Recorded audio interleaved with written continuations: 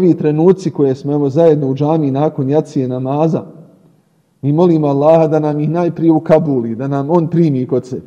Onda molimo gospodara da nas to ojača u našim srcima i u našim dušama. Da budemo od oni, vi taj hadis znate, Seba'atun yudhilluhum Allahu fi dhillihi yawma la dhilla illa dhilluhu. Sedam osoba će Allahu svoj hlad uzeti kada drugoga hlada ne bude. Pa ima jedna kategorija gdje se kaže osoba kalbuhu muallakun bil mesajid. Kaže srce mu vezano za džamiju. Ovo muallakun bil mesajid. Vezano za džamiju.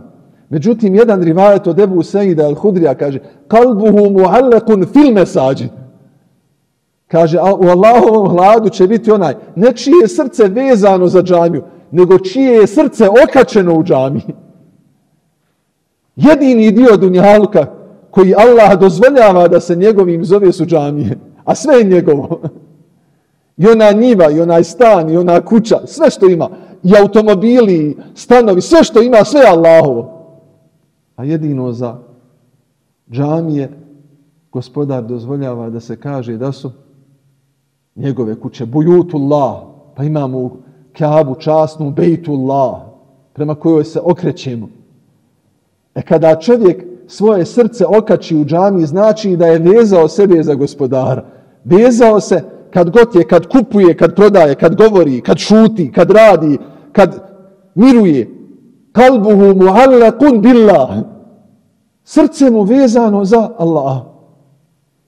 Jedan od velikana je od ehli bejta, od potomaka Resulullaha sallallahu alaihi wa sallam, pitaju ga, vidimo te kad si u namazu, ko da ništa nema drugo, ko da je čitav dunjaluk nestao, kao da si odvojen od ovoga kosmosa. Kaže, kako si to uspio? Kaže, sjetim se svoga taksirata, svoga grijeha i ne može srce nego da gleda u zemlju od stida pred Allahom. Pa kažu njemu, kojeg se grijeha sjetiš? Kaže, jedne prilike smo bili u bašći i jeli smo neku hranu koja je bila masna. I kaže, onda sam, kad sam završio sa hranom, pružio svoju ruku i uzeo iz komšine bašće, uzeo jedan grumen zemlje.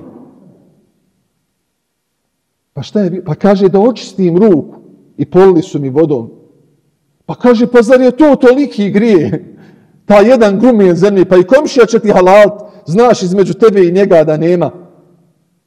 Kaže, nije to suština moga grijeha, nije nego ja u tom trenutku apsolutno sam zaboravio da me Allah vidi. Neće insan počiniti grijeh dok ga šeitan ubijedi da ga Allah ne vidi.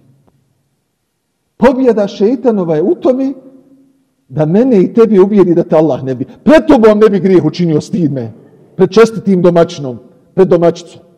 Bil pred Allahom učinio kad sam svjestan da me njegov dodir, da me njegov vid dodiruje.